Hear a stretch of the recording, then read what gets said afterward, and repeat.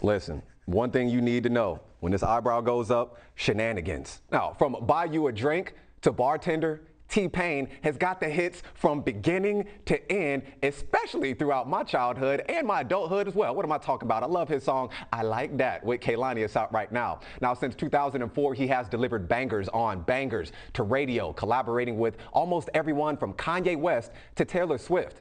His distinctive sound influenced the auto-tune revolution of the early 2000s. He's truly a revolutionary, and his longevity is due in part to the fact that he remains an innovator to this day. He's honed his craft, and he's also just an extremely layered and uh, just an awesome guy. Hey, listen, y'all, Tallahassee's favorite son, T-Pain, is joining me right now on After 6 to talk about music and, of course, his legacy within hip-hop.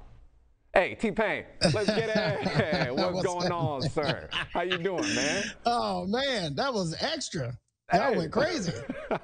Who wrote that script? Good God. You need to be writing hardbacks. Hey, yes, sir. I mean, you T-Pain, man. Listen, you done had me bopping and gyrating and jigging since I was in like middle school. So, you know, we had to get you right. We had to get you right. Now, you call yourself absolutely, absolutely. a rapper turned singer. You know, that's where we all mm-hmm. know you from, but you're now an author. And you have a book out called Can I Mix You a Drink? Uh, tell us about uh-huh. your book and uh, mm-hmm. what we can find in there. Uh, basically, it's 50 cocktails from my life and career uh, since I started my journey on where I am now. You know, the drinks I've tried along the way and my spin on them, and you know, uh, getting getting together with a, a actual master mixologist. It, it, it, helped it kind of bring everything home and really make it professional and you know make it uh, consumable because some of my drinks is too strong for people so you know some of some of it had to get down back so, no but it's uh, I mean it's a fun book it's it's it's in place of a memoir or anything like that. I didn't want to like make a book that was like about my life. We all got the same story. Everybody mm-hmm. know. We all grew up hard. Uh, you know, it was tough. Uh, terrible relationship with parents, and uh, we we all heard the story a thousand times. And nobody needed that part from me, so I figured I could I would uh, you know create something that people could actually use mm-hmm. and something that you know people would open multiple times instead of a one good read and then all right heard that story and we we out of here so mm-hmm. I, I, wanted to make this book that people would enjoy at parties open up multiple times even when they're alone you know just a better book bragging about myself hey, listen, y'all heard the man. Uh, be careful making some of these drinks because they are strong. They, they, they definitely gonna get Absolutely. you there. Now, T-Pain, yeah, I gotta pick yeah. your brain, man. You've been in the industry for so long, but you continue to innovate, recreate yourself yeah. as a brand, but then you also continue to make the hits. Everything is always, uh, it's always unique and it's always different. so talk about your creative process, man. How do you come up with this stuff? It's it's not something that I necessarily come up with. It's just it's something that it's something that comes to me mm-hmm. most of the time. You know, it's just it's just like, man, I would really like if things went like this. Like even when I was younger and I would sing songs on the radio at home, uh, my older brother Rashid would would make fun of me.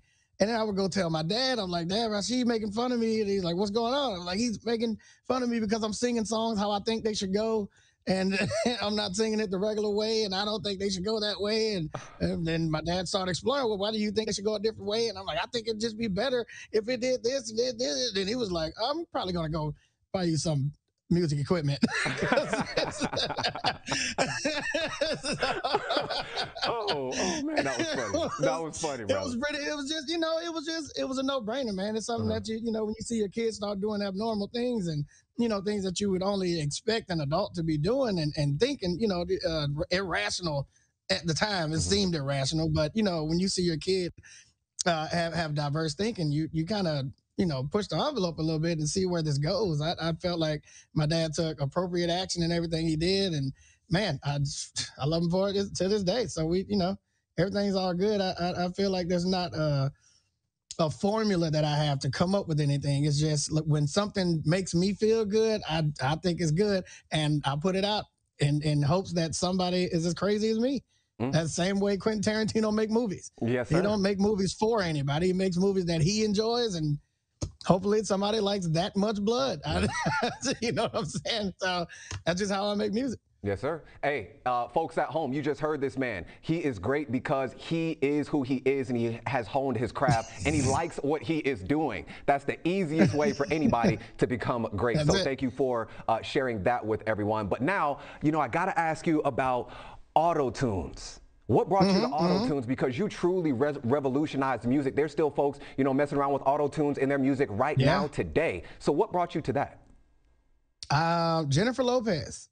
I heard it on one of her songs, and um, I mean, she only used it for a few seconds, but I was like, man, I want to do a whole song like that.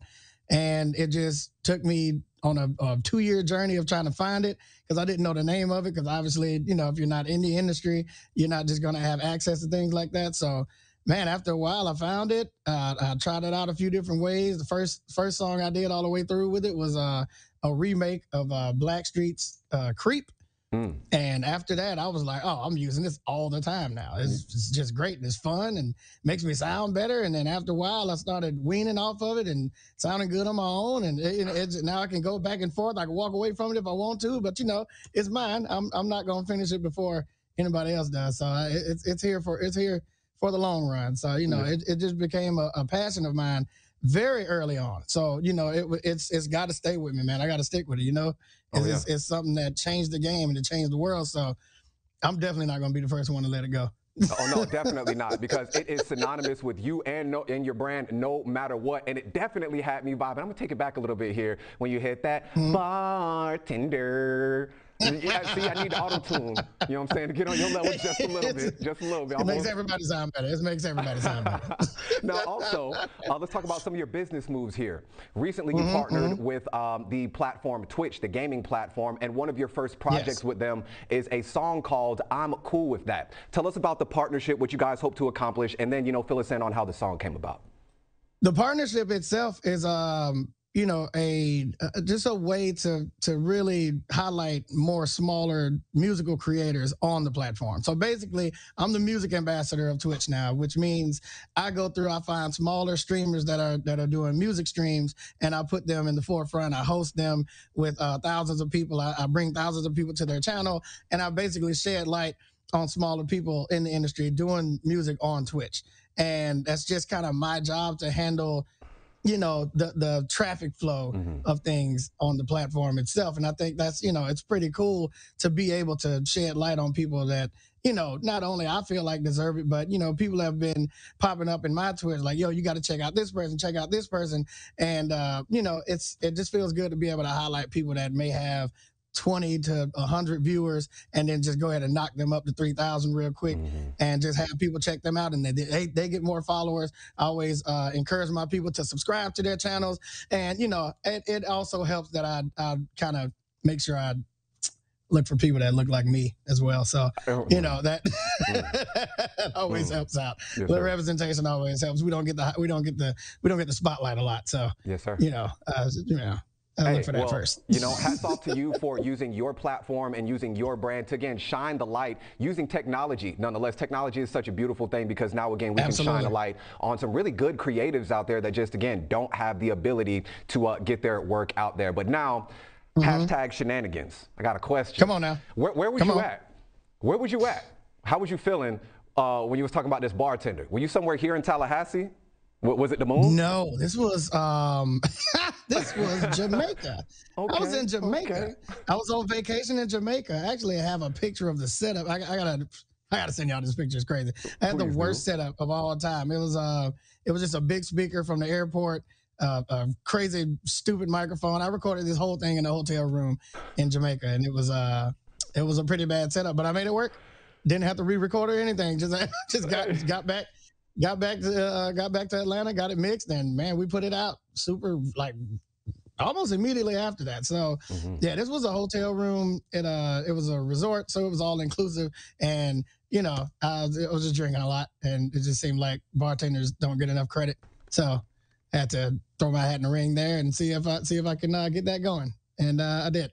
So yeah, and, and you out. have done so much. It definitely worked out. The auto tunes worked out. Your career has definitely worked out for you, sir. And everybody, mm-hmm. you know, if you don't know how deep his resume is, uh, I'm looking at Spotify right now. He's on uh, The Boss with Rick Ross. Of course, we got Bartender. Uh, we got uh, Low with Flo Rida. We got uh, Close to You with uh, Dreezy. I mean, the list just goes on and on and on. And oh, again, it, it, yeah. he told you that he makes his music because he likes the way that he likes that the way that it sounds. Again, T Pain. Exactly. It was so awesome having you on after six, man. Come back anytime. We would love to have you. I appreciate it. Thank y'all so much, man. I appreciate it, man. Yes, sir.